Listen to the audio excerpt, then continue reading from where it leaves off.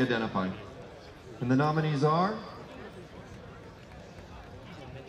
Doug McGee from Wolfeboro, New Hampshire, in the 1914 Rolls-Royce. Grant Kinzel from Calgary, Canada, in a 1953 Abarth 110.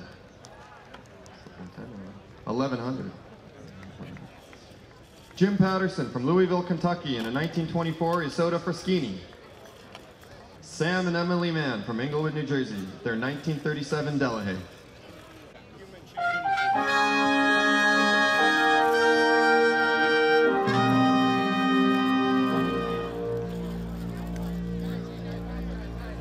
The 65th annual Pebble Beach Concours d'Elegance Best of Show winner is the 1924 Isotta Fraschini Tipo 8, Jim Patterson, Louisville, Kentucky.